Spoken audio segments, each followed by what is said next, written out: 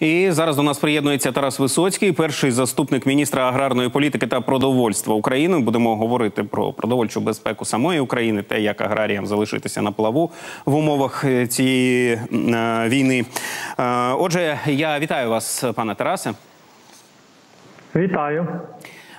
Якщо ви чули мою підводку, я сказав, що радник глави офісу президента Михайло Подоляк е, заявив, що переговори про продовження роботи зернового коридору дуже складні.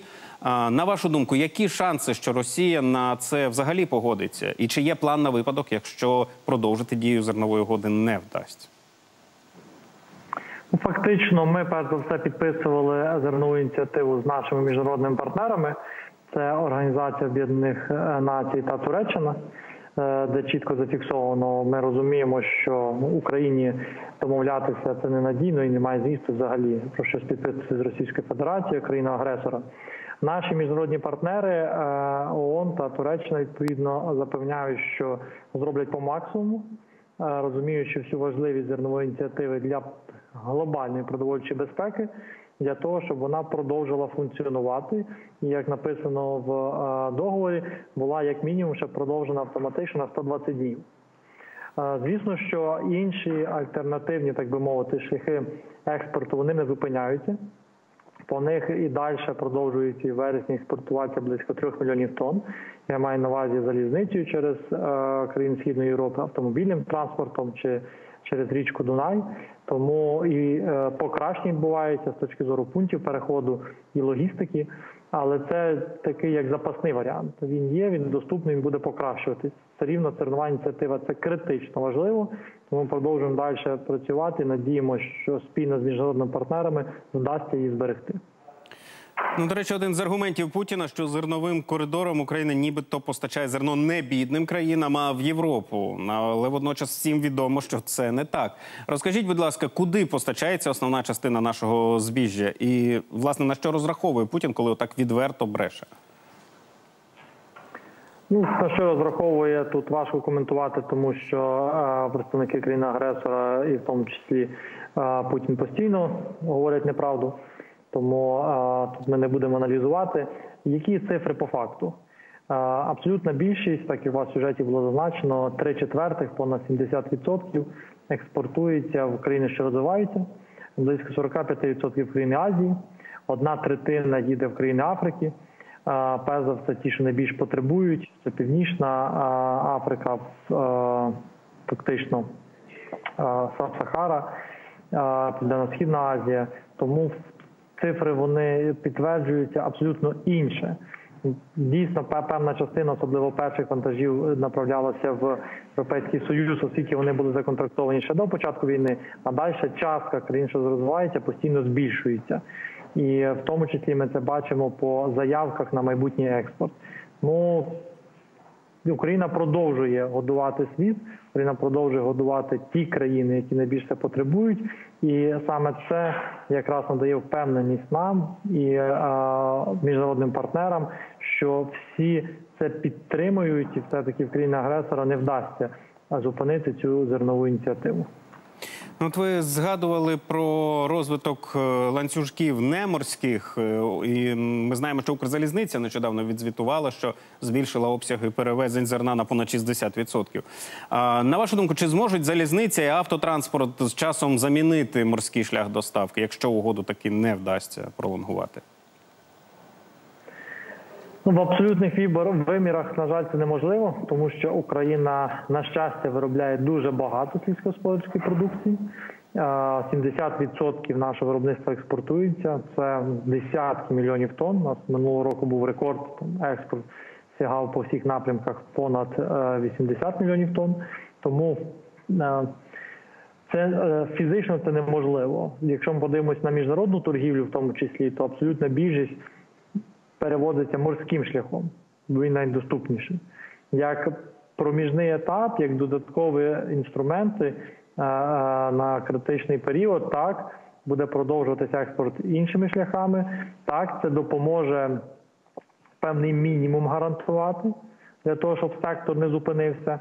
Але щоб ми говорили, щоб не просто не зупинитися, а розвиватися збільшувати виробництво, збільшувати кількість робочих місць, то все-таки наявність морських шляхів є обов'язковою.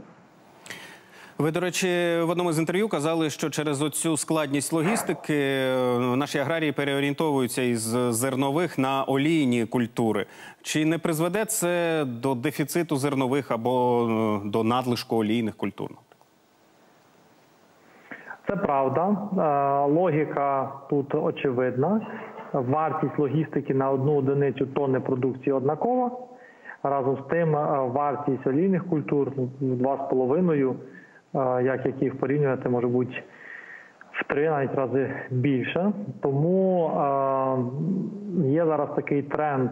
Ми бачимо по посіву озимих культур, що якраз ріп- ріпаку посіяли більше навіть е, в порівнянні з минулим роком на контрольованій території. Але тут критичності немає. Перше, е, з точки зору реалізації олійних е, культур, міжнародний ринок великий, і скільки б не виростили українські аграрії, вони зможуть це з легкістю продати на експорт. Друге, замінити олійними культурами повністю зернові неможливо технологічно з точки зору агрономії та вирощування. Тому є зміна пропорції, але е, є обов'язкова кількість зернових культур, яка все рівно за будь-яких обставин буде сіятись, і це буде мінімум 50% всіх площ. Якщо ми подивимося на ці площі, то знову ж виробництво зернових культур буде мінімум вдвічі більшим за наше внутрішнє споживання. Класично ми виробляємо в 3-4 рази більше ніж внутрішнє споживання. При цій зміні пропорцій все рівно мінімум вдвічі більше буде. Тому і для внутрішнього ринку достатньо буде зернових за будь-яких обставин, і експорт зернових також не зупиниться за будь-яких обставин. Скільки часу мине до того, е, коли в експорті домінуватимуть продукти переробки, а не сировина? Дійсно, такий Рубікон е, трансформації українського аграрного сектору перейшли. Війна прискорила ці процеси. Тут є декілька напрямків. Я їх е, розділю, оскільки по кожному з цих напрямків різний термін запровадження та окупності.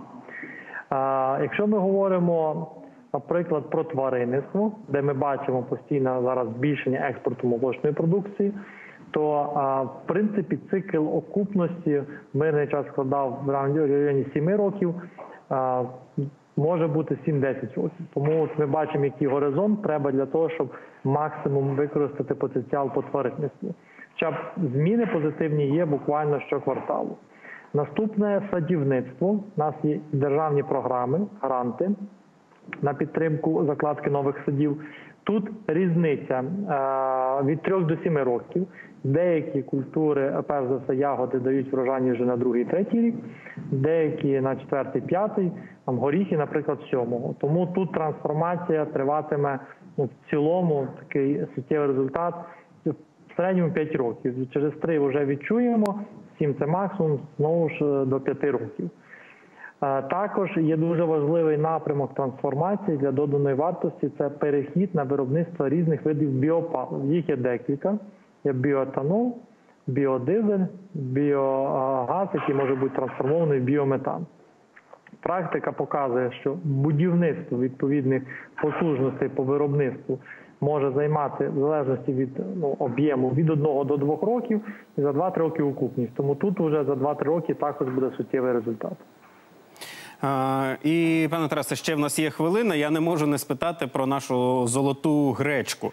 Ви прогнозували, що з наступного місяця ціни будуть падати завдяки новому врожаю. Розкажіть, будь ласка, наскільки сильно і що буде з врожаєм наступного року, зважаючи на війну?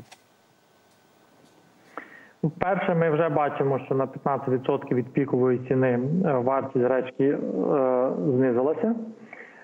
Трошки падіння ціни зупинилося, оскільки в вересні було багато дощів, і підно темпи збирання зупинилися. Ну фактично зупинилися, тільки 50% зібрано. Але зараз ми вже бачимо, що прогноз погоди позитивний. А, Має стати тепла суха погода. Відповідно, активно відновиться збір урожаю, в тому числі гречки, і це позитивно впливатиме на баланс. Ми очікуємо виробництво ну, 140 тисяч тонн, що є на 30% більше ніж внутрішнє споживання, більш ніж достатньо. Вийшла ця затримка в 2-3 тижні через дощі, тому все-таки повноцінно не в жовтні, але з листопада вже споживачі е, відчують на своєму гаманці позитивний ефект від збільшення виробництва гречки. І це прекрасно, я вважаю. Я вам дуже дякую за гарний прогноз і за те, що поговорили з нами. Це був Тарас Висоцький, перший заступник міністра аграрної політики та продовольства України.